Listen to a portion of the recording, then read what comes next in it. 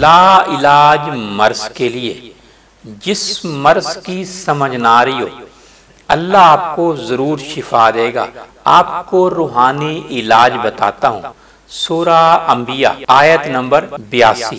وَأَيُوبَ اِذْنَادَ رَبَّهُ أَنِّي مَسَّنِي يَزُرْ وَأَنْتَ أَرْحَامُ الرَّاحِمِينَ انشاءاللہ اللہ تعالیٰ آپ کو ضرور شفا دے گا۔